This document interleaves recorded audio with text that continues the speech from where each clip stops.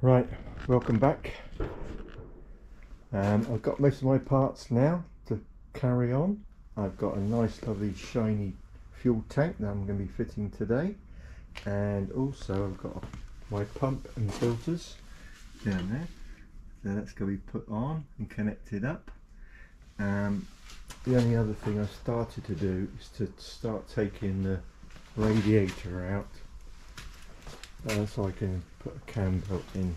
So um, I've started undoing some of the things. As you can see, I've got some pipes that need to come off. Um, I got a little bit trapped because I can't get underneath the front, so I need to put the fuel tank in before I can start putting the cam belt on. Um, I've got some plug leads and some spark plugs to put in as well.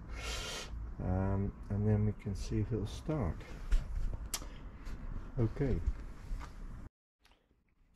Right, I've been busy. So I'm just showing you what I've done yesterday. Uh, well, no tank. Let's see where the tank's gone. Uh -huh. There it is down there.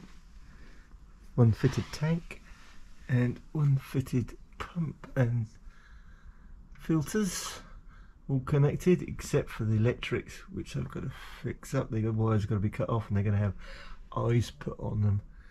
But other than that we're just about done underneath here